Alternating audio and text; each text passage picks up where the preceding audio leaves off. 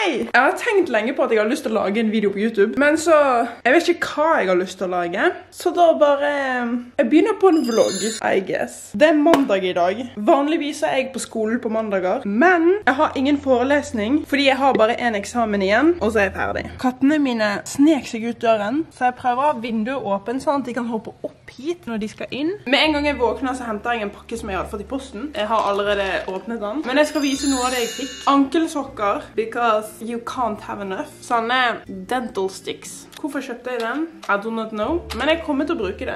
Jeg kjøpte gave til Theodor. Jeg har hypet opp til han at jeg har kjøpt en gave til han. Jeg tror ikke at han kommer til å bli så veldig hype for den gaven her. Fordi, se på gaven. Og jeg har ikke sagt til han hva jeg har kjøpt han. Jeg har bare sagt til han, du skal få to gaver. Du vet ikke hva det er. Han har fått en rulle for å rulle av kattehår på klærne. Selv om han har 100 av de her nede i gangen. But at least this one is cute.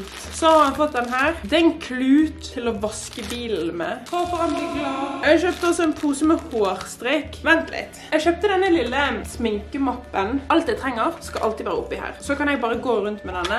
Og så kan jeg putte denne oppi den vesken jeg skal gå med den dagen. Eller den sekken jeg skal ha hvis jeg skal på skolen. Jeg kjøpte også en gave til my little kitty cats. De har denne kattematten med sånne skåler til mat. Så jeg kjøpte enda en sånn katteskål, sånn at de har flere. Og nå har jeg litt å rydde opp her. Er det noen norske youtubere som lager vanlige vlogs for tiden? De jeg har pleid å sette på, lager ikke vlogs lenger, eller lager ikke videoer lenger. Oh my god! Lexus er nede i hagen her. Anyways, så meg og Theodor bor her sammen med tre katter. Arne, som er en liten slange. Nå tror han at han har gjemt seg. Nå tror han at jeg ikke ser han. Jeg har nødt til å spraye vatten inn i terrariumet til Arne. Alle plantene hans dør. Hei! Ok. For litt kontekst, så synes jeg det er dritskummelt at de skal være ute. Det kan skje så mye med de. Det kan komme rev, de kan bli bitt av et pinnsvin, de kan slåss med de andre kattene i nabolaget, de kan bli bitt av hoggorm, de kan knekke noe. Tenk hvis, tenk hvis de går til en av naboene, og så begynner naboene å gi dem mat og kos, og så vil de heller bo hos en av naboene, og ikke hos meg. Det er så mye som kan skje. Så jeg blir sånn, jeg blir veldig nervøs. Og jeg vet at katter går ute hele tiden, og det går helt fint. Men disse kattene her er så klønete. Det begynte å pøsregne. Det går ikke an å se, men det er kjempevått på gulvet. Fordi begge kattene kom inn. Klissvåte. Jeg skal prøve å åpne døren. Oh my god! Nå regner det inn! Det, det var i alle fall ikke en god idé. Hei! Hei!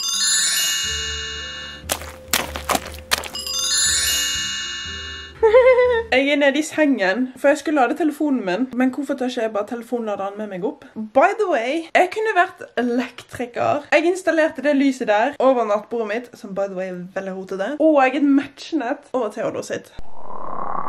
Anyways. Jeg skulle sikkert egentlig spist middag snart, men jeg tenkte å lage meg yoghurt og cottage cheese. Og så spiser meg og middag senere. Og så spiser meg og Theodor middag senere i dag, når han kommer hjem fra jobb. Jeg har også kjøpt meg et helt fenalår. Ja. Nå skal jeg bare se på et eller annet på iPaden og spise. Hei, Lexus. Kom og sitt oppe her. This is not how to sit on a barkrakk. Bare hoppet opp på fanget mitt. Lexus, her kan du sitte. Så kan vi sitte her sammen. Fikk jeg akkurat et tegn på at jeg er nødt til å begynne med YouTube-en. Read this comment. Jeg så på deg på YouTube hele tiden før. Welcome back to my channel. Dette her er sånn han pleier å sove. So cute. Jeg går med veldig baggy klær i dag, men det er akkurat sånn jeg liker det. Theodor kom akkurat hjem. Han er ute i garasjen. Jeg skal gi han gavene hans. Lexus. Han maser fordi at han har lyst til å drikke fra vasken. Anyways, jeg skal ta så gå ned i garasjen til Theodor. Gi han gavene hans. Av og til så tar jeg på vasken til han, og så glemmer jo jeg at jeg har tatt på vasken til han. Og så bare renner vasken. Anyways, det jeg skal gjøre nå er freaky freak. Jeg klarer ikke å stappe nøkkel i lommen min. Jeg skal gå ut til Theodor, gi han gavene hans. Jeg føler jeg må pakke inn gaven. Han har allerede 100 sånne rulleting, men han har ikke en som er blå. Kanskje jeg klarer å stappe det inn i lommen min. Det regner ute. Hello. Ok, jeg har gift for you. Ok, jeg har det i lommen. Han er blå! Wow. Men jeg kjøpte den faktisk før du kjøpte alle de du har inne på benken da. Anyways, neste ting er kanskje også litt antiklimatisk. Wow. Det er til å vaske bilen med. Cool. Tusen takk. Vi skal kjøre oss og handle middag nå. Dinner. Hva sa du? At vi skal kjøre og handle middag. I'm gonna, I'm gonna drive. Bye bye. Jeg hadde forresten en annen gave til deg også. Kan bare si hva det er. Det er toothpicks. Jeg brukte en toothpick i sted. Så det er en gave til oss. Ah.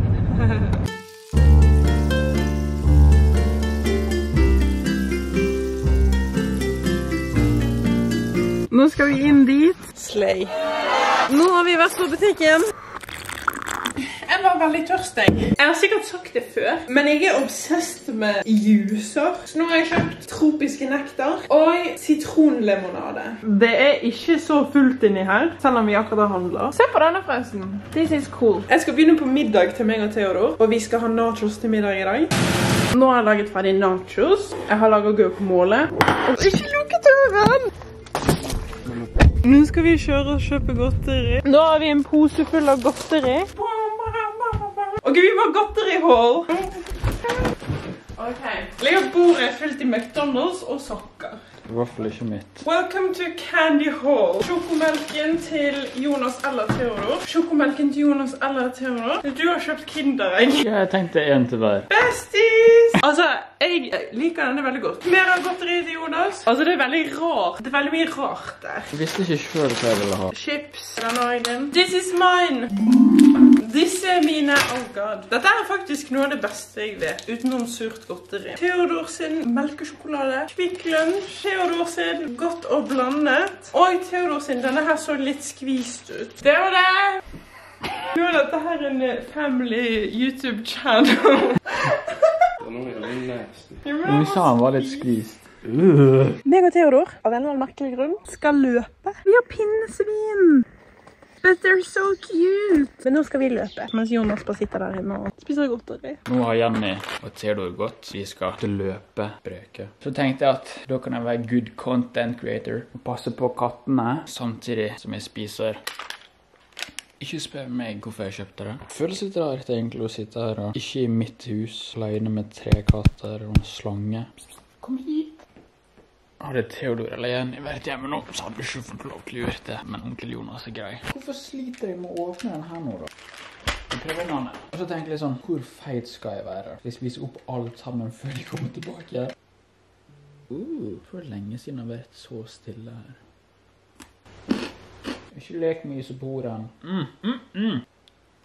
Hva spiser du på? Du, tjukken, se på meg. Det var kanskje litt slemt å kalle han for tjukken. Beklager. Jeg har slått ut noen ting på YouTube på lenge. Og ja, la meg bare filme at vi skal kjøpe godteri. Filmet ikke at vi var i butikken og kjøpte det. Filmet at de hvisket tilbake i bilen min. Så plutselig Skal du også ha? Tror ikke han liker kjeks. Så vær så god, Janne. Content. Jeg må ikke tisse. Ikke se sånn på meg. Ha det. Nå spiser jeg godteri. Og spiller høydøy. I'm hanging out with my best friends. Vi må se hva leke Jonas har fått i kinderegget. Hva er det for noe? Donkey. Jeg tror jeg mistet sjokoladen nedi her. Du kommer til å bli så sjalu. Min var mye kulere enn din. Det er ikke greit. Jeg fikk Donkey. Han er kjendis. I got a bear. What? Jeg skal legge meg til å sove nå. Jonas sover oppe på gjesterommet i natt. Jeg er egentlig ikke så veldig trøtt. Anyways, god natt. God morgen. Jeg har ikke noe skole eller jobb i dag heller, så jeg har sovet lenge. Eller jeg har egentlig ligget lenge i sengen og vært på telefonen. Outfitet mitt i dag egentlig bare en baggy bukse og en t-skjorte. Og nå skal jeg lage meg frokost. Og så skal jeg egentlig bare kjøre og kjøpe mer kattemat til kattene. Jeg har laget iskaffe, og så har jeg yoghurt med cottage cheese. Og kattene har fått vårt for. Nå skal jeg smake iskaffen. Ti ut av ti. Jeg skal dra og kjøpe kattemat nå. Det har vært ganske deilig å ikke ha forelesning disse to dagene her. Slipper å dra på skolen. Men resten av uken så skal jeg jobbe. Jeg har kjørt til lagunen. Jeg skal på inn og kjøpe kattemat, og så skal jeg egentlig tilbake igjen til bilen. Jeg tør ikke å filme på butikken. Det er ikke så mye å filme heller. Jeg har kjøpt kattematen, så nå kjører jeg hjem igjen. It's kinda clean in here. By the way, siden dette her er en family vlog channel, my family, my best friends. Jeg bare tuller. Men Theodor og Jonas dro på jobb i dag tidlig. Hei! Hei, Lada. Jeg skal lage meg litt iskaffe. Jeg har litt vaniljemelk igjen, så jeg skal bruke det opp. Så jeg heller det jeg har igjen av vaniljemelken oppi her. Og så tror jeg jeg bare blander oppi vanlig melk. Jeg vet ikke om det kommer til å bli godt eller ikke. Jeg kjøpte en sånn melkeskummer på Ikea. Så heller jeg kaffen oppi dette glasset med melk. Jeg har karamellsyrup, så jeg tar en liten dash av det. Ti ut av ti. Theodor og Jonas kom hjem. Og nå skal vi lage middag. Jeez. Jonas har kjøpt sin leke. Hvor mye betalte du for han? Vi skal lage wok til middag. Her er woken til meg og Theodor. Jonas skal ha pizza, for han liker ikke wok. Tenk hvor chill det er å være en katt. Så må jeg ta og sjekke gården min. Nå er vi på roadtrip. Jonas har kjøpt en bil til Theodor. En helt ekte bil. Må du betale den tilbake? Hvorfor sitter jeg i baksetet? Jeg skal bare si hei til en jord. Hei! Jeg skal sove nå. Jeg skal på jobb i morgen tidlig. God natt!